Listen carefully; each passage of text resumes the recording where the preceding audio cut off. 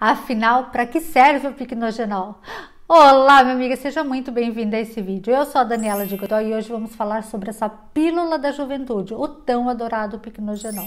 Recentemente, eu falei em um vídeo aqui sobre o picnogenol e a sua relação com o anti-envelhecimento. E hoje vamos falar um pouco mais sobre os benefícios que temos com esse fitoterápico, que é um composto retirado do pinheiro marítimo francês chamado Pinus pinaster. O picnogenol vem sendo amplamente estudado nos últimos 40 anos e tem mais de 420 estudos publicados e artigos de revisão que garante a segurança e eficácia. Ele é um poderoso anti-inflamatório e um super antioxidante que regula a produção dos radicais livres, que são os grandes vilões responsáveis pelo envelhecimento e doenças.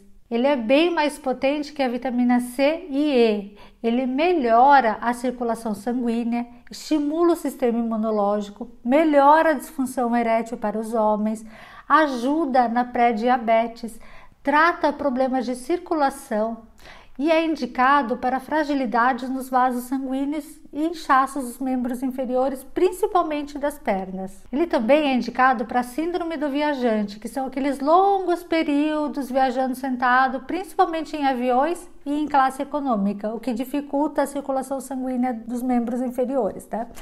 Também ele é indicado para zumbidos no ouvido, dor muscular, inflamações, ortoartrite, também melhora a flexibilidade nas articulações.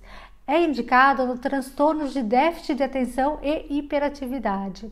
Também é indicado na endometriose, sintomas relacionados à menopausa, períodos menstruais dolorosos, osteoporose e TPM. Ele auxilia no tratamento de alergias, ajuda a prevenção de doenças oculares, por ser um antioxidante, melhora a função cognitiva.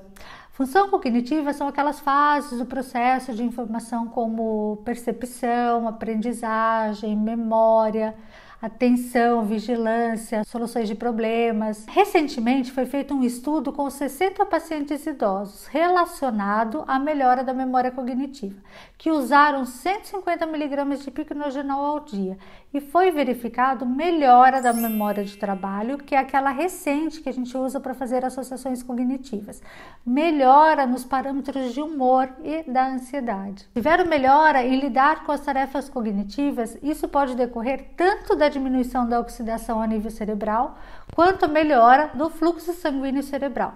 Por ser um potente antioxidante, o picnogenol ele retarda o envelhecimento com o seu uso oral. Quando falamos de anti-envelhecimento na pele, ele melhora a melasma, melhora peles acneicas, melhora o colágeno e o ácido hialurônico da pele, por ser antioxidante. Acredito que o sonho de todos é envelhecer bem e com saúde e disposição, né? minimizando os efeitos que o envelhecimento nos traz. Vendo dessa forma, esse suplemento é um sonho né, para todas nós. Antes de falar onde encontrá-lo, se inscreve aqui no canal se você ainda não for inscrita, tá? E tem vídeos novos toda semana com dicas super legais para mulheres maduras como nós. Bom, esse produto ele pode ser consumido de duas formas, em cápsulas ou comprimidos.